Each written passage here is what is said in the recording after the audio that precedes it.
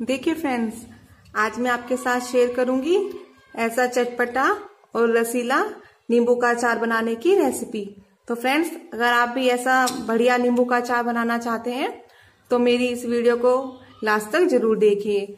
ये अचार आपका दो तीन साल तक बिल्कुल भी खराब नहीं होगा और बहुत ही बढ़िया लगेगा। तो फ्रेंड्स अगर आपको मेरी रेसिपी जाननी है, देखनी है तो मेरी इस वीडियो को लास्ट तक ज़रूर देखिए।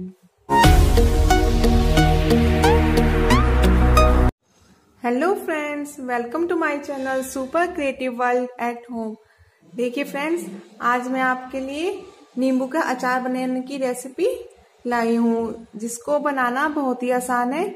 और आज हम अगर इस रेसिपी से ही नींबू का अचार बनाएँगे तो हम बहुत इजीली नींबू के अचार को बना लेंगे। और ये पूरे साल तक बिल्कुल सही रहेगा। ये रेसिपी मैंने अपनी मम्मा से सीखी है। तो मेरी मम्मी इसी रेसिपी से नींबू का अचार बनाती थी तो आज हम भी इस रेसिपी से ऐसे ही नींबू का अचार बनाएँगे। तो फ्रेंड्स चलिए नींबू का अचार बनाना स्टार्ट करते हैं। नींबू का अचार बनाने के लिए मैंने यहाँ पर एक किलो नींबू लिए हैं और इनको अच्छे से धोकर सुखा लिया है। हमें नींबू को अच्छे से धोकर सुखा देना है। मैंने इनको एक घंटा अच्छे से नींबू को धूप में सुखा दिया है, ताकि इसमें कोई भी मॉइस्चर कंटेंट ना रहे। इसमें कोई भी पानी का अंश नहीं होना चाहिए, वरना हमारा नींबू का अचार खराब हो जाएगा। तो देखिए फ्रेंड्स मैंने इनको अच्छे से धोकर सुखा लिया है। अब हम इनको छोटे छोटे पीस में कट करेंगे। आप चाहे तो इनको ऐसे भी कट कर सकते हैं, सिर्फ़ इतना ही, लेकिन मैं इनको पूरा अलग अलग ही कट करूँगी। उससे क्या है, नींबू का अचार जल्दी बन जाता है। नींबू अच्छे से जल्दी ही गल जाते हैं। तो हम इनको ऐसे चार फाक में काट लेंगे। हम सारे नींबू ऐसे ही काट लेंगे। अगर आपके किसी नींबू में कोई दाग वगैरह हो तो आप उस नींबू को अलग रख दीजिए। हमें हमें उस नींबू को यूज़ नहीं करना है। तो देखिए फ्रेंड्स, हम सभी नींबू को ऐसे ही काट लेंगे।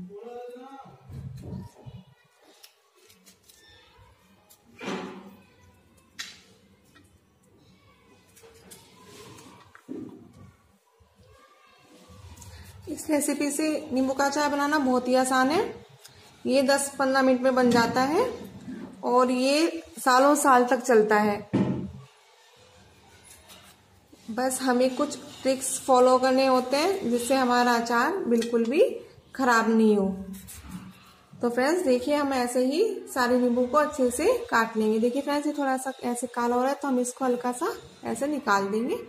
तो हम इसको ऐसे भी यूज़ कर सकते हैं। तो देखिए फ्रेंड्स, मैं सबको इनको ऐसे ही काट लूँगी। देखिए, मैंने सारे नींबू को ऐसे पीसेस में काट लिया है। मैंने इसमें से तीन चार नींबू बचा दिए हैं। उनको हम अभी बाद में यूज़ करेंगे।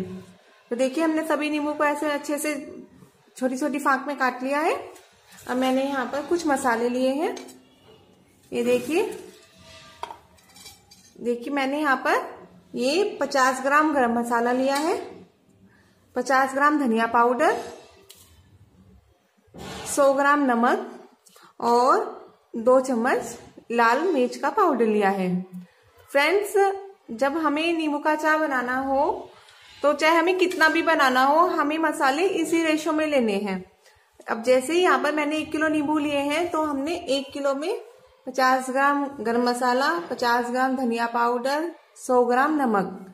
तो ये तीनों हो गए 200 ग्राम। तो ऐसे अगर हम दो किलो या फिर ज़्यादा नींबू का अचार बनाते हैं तो हम इसका मल्टीपल में ही मसाले यूज़ करेंगे। हमें एक किलो नींबू में 100 ग्राम नमक ही लेना है और ये मसाले भी उसी रेशो में लेने हैं। तो देखिए, अब हम सिंपली क्या करेंगे? एक ऐसे डिब्बा लेंगे। इसको मैंने अच्छे से धोकर सुखा दिया है। अब हम इसमें ये जो नींबू के पीस है, इनको थोड़ा थोड़ा करके डालेंगे। हमें सारे नींबू के पीस एक साथ नहीं डालने हैं। हमें थोड़े थोड़े कर कर ही डालने हैं। देखिए, और जो हमने ये मसाले लिया है, इसको हम अच्छे से मिक्स कर लेंगे।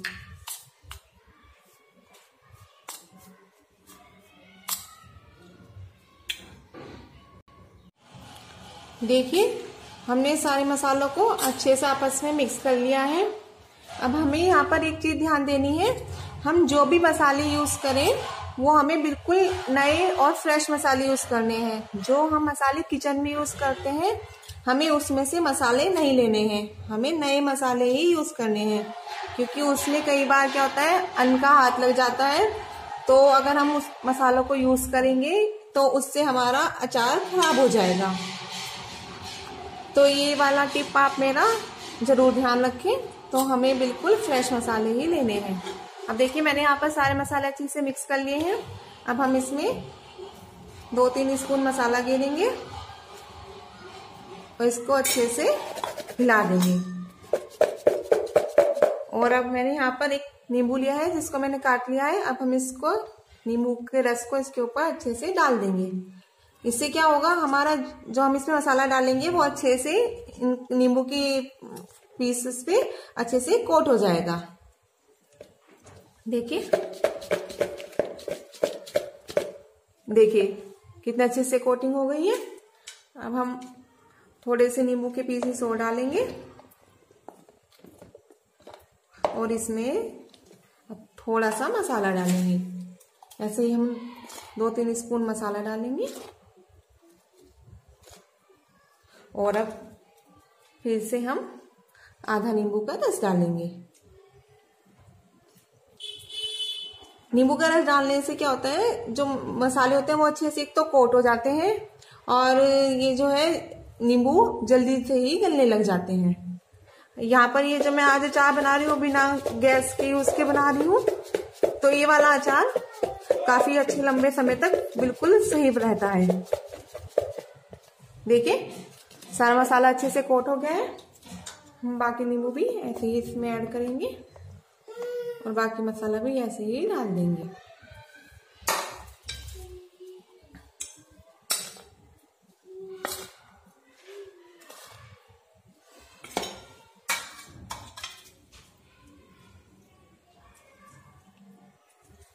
यहाँ पर मैं तीन चार नींबू का रस अच्छे से निचोड़ दूँगी। जिससे हमारा मसाला अच्छे से नींबू की फाक के ऊपर कोट हो जाए। देखिए, हमने अपने सारे नींबू के पीसेस को इसमें डाल दिया है और इसके ऊपर सारा मसाला अच्छे से डाल दिया है और इसमें मैंने पूरे पाँच नींबू का रस अच्छे से डाल दिया है। और देखिए, ये कितने अच्छे से इसमें पूरा मसाला नींबू के ऊपर कोट हो गया है। तो देखिए, हमारा जो अचार है ऐसे ही बन गया है और इतनी आसानी से हमने इसको पाँच मिनट में बना लिया है। अब मैं यहाँ पर 200 ग्राम चीनी लूँगी। एक किलो नींबू में मैंने यहाँ पर 200 ग्राम चीनी ली है, क्योंकि हम, आम, ये नींबू का जो है खट्टा मीठा अचार बना रहे हैं तो मैंने यहाँ पर 200 ग्राम चीनी ली है। हम इस चीनी को भी अब इसके ऊपर ही ऐसे डाल देंगे। हमें चीनी को ज़्यादा मिक्स करने की ज़रूरत नहीं है, क्योंकि ये जब नींबू के साथ मिलेगी तो ये अपना आप ही मेल्ट होकर पूरे में अच्छे से मिक्स हो जाएगी। देखिए, मैंने सारी चीनी को इसमें अच्छे से डाल दिया है।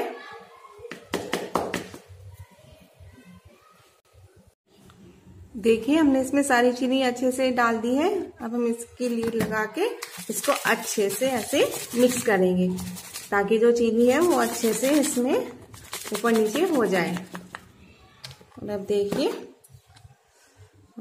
देखना, ये देखने में ही कितना अच्छा लग रहा है।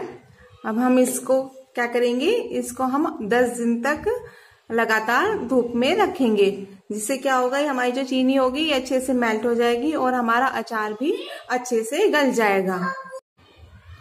हम इसको लीड बंद कर कर ही धूप में रखेंगे।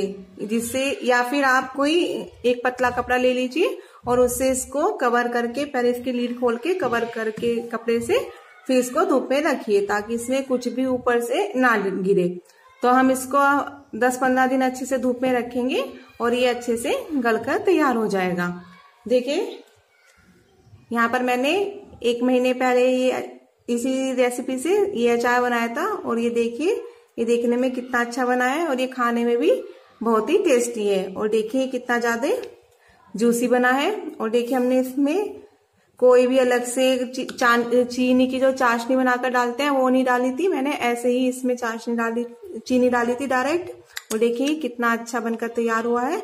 और देखिए कितना बढ़िया गला हुआ है। देखिए कितनी आसानी से कट जा रहा है।